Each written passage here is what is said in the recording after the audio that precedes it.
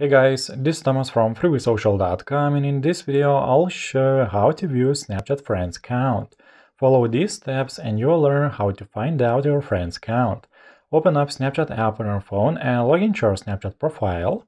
Tap on the location icon at the bottom left corner of your screen. Tap on gear icon at the top right. Proceed by clicking on only these friends to select who from your friends can view your location. Now select all of your Snapchat friends and just tap on Save button. Go back to your Snapchat profile page. Scroll down till you see your Snap map. And you will see the total count of your friends. As you can see, I currently have 22 friends. That's it for this video. I hope this guide was helpful and you're able to view Snapchat friends count. Don't forget to like this video and visit us at freewaysocial.com.